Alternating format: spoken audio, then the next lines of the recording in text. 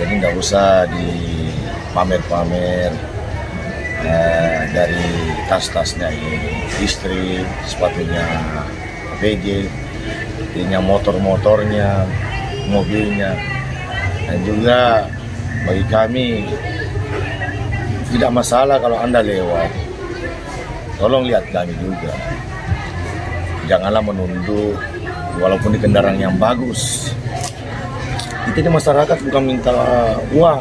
Cuma ingin diperhatikan. Sebagai masyarakat Kabupaten Bombana saya mewakili pemuda eh, Kabupaten Bombana. Dengan ini eh, kami sesalkan terkait mengenai video viral eh, PJ Bupati dengan keluarganya eh, bahwa bukan sepantasnya itu yang harus diperlihatkan.